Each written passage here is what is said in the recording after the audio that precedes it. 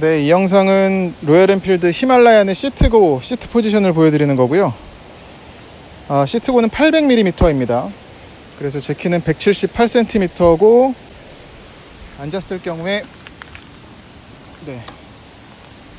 양 발이 아주 편하게 그냥 풀썩 내려앉는 수준은 아니지만 잘 닿네요. 그리고 시야도 지금 이 바 핸들 바 자체도 살짝 팔을 편하게 내릴 수가 있어서 이런 어떤 시트 포지션부터가 상당히 부담을 덜게 하는 요소고요. 중량이 182kg인데 옆에 side pannier를 달면 한 200kg 정도까지 가는데 그럼에도 이런 시트 포지션이라든지 아니면 핸들바에서 오는 이 팔을 뻗는 자세 그리고 또 이 핸들바도 기네요. 그래서 이것도 참 다루는데 도움이 될 부분인 것 같고 발을 올려보면은 자연스럽게 이 연료 탱크에 무릎이 닿는 그리고 이 연료 탱크에도 여기도 이 데칼이 이쁘긴 하지만 이런 knee grip 패드를 달면 근데 뭐 이 바이크가 아까도 말씀드렸다시피 어떤 퍼포먼스를 바라고 탈 그런 모터사이클은 아니기 때문에 knee grip 패드도 굳이 필요 없을 것 같아요.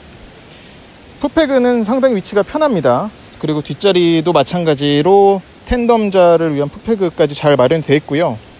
무엇보다 이 시트가 지금 보이실 텐데 엄청 푹신푹신해요. 그래서 이것도 편한 riding에 상당히 도움을 주는 부분일 것 같습니다. 이 사이드 미러는 약간 좀 형태적으로는 예쁜데 시야적인 부분에서는 그래도 좀 아쉬운 건 있어요. 이렇게 각도만 조절을 할 수가 있는데 각도를 최대한 신장에 따라서 달라지긴 하겠지만 바깥으로 많이 꺾어야 되겠습니다. 네, 그리고 텐덤자의 시트 포지션도 꽤 편합니다. 그리고 이 소재도 어떤 내구성이 좋아 보이진 않아요. 벌써 여기도 까졌거든요. 하지만 마찰력이 좋은 소재예요. 그래서 미끄러지지도 않고 무엇보다 여기 그립바가 잘 돼 있어서 이것도 도움을 많이 받겠습니다. 네, 그리고 수납 공간도 갖췄어요. 그 전에 키는 이렇게 생겼습니다. 귀엽죠? 아주 클래식하니 예쁩니다. 키 구멍은 이쪽에 있어요.